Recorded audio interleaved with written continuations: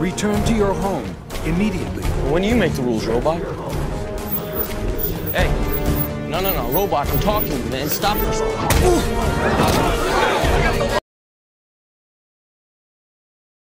In the beginning, artificial intelligence, or AI, was villainized in pop culture as something that was so horrible that it would take over the humankind, as shown in the previous clip. However, as time has progressed and technology has advanced, AI has become an integral part of our lives. Welcome to AI, Artificial Intelligence. We are Group 9 with team members myself, Melissa Allen, Andrea Costin, and Tara Waters. We are presenting on how AI affects students in the setting of K through 12 and in higher education. We hope you enjoy our presentation.